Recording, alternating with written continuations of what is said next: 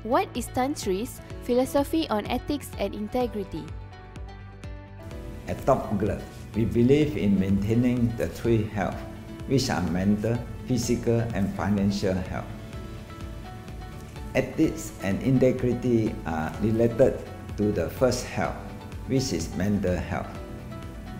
For good mental health, we must continue to uphold good business ethics of honesty, integrity, and transparency in our business dealings. To ensure we are physically healthy, we practice the five healthy wells.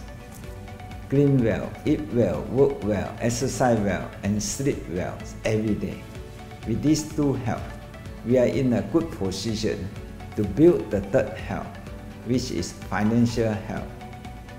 Maintaining the three health allow us to build a strong foundation which will enable us to do well in good times and even in difficult times. As I always say, building a business is like building a tower. We need a solid foundation.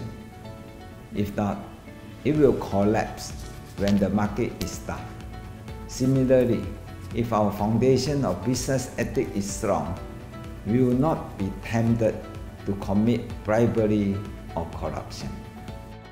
What is one integrity value that Tan Sri would like to see in all top glovers?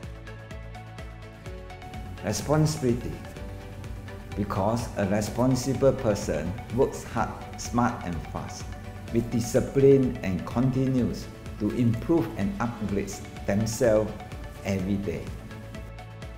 Why do top glovers need to uphold our W.H.I.T.E. integrity culture?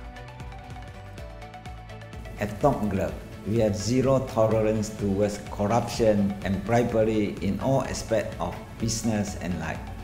We have in place adequate procedures to address the corporate liability provision Section 17A of the MACC Act and have obtained the ISO 37001 Anti-Bribery Management System certification, signifying our commitment to upholding our W.H.I.T.E. integrity culture. Let's work together to strengthen our W.H.I.T.E. integrity culture towards a company that is free from bribery and corruption. Be honest, no cheating. Thank you.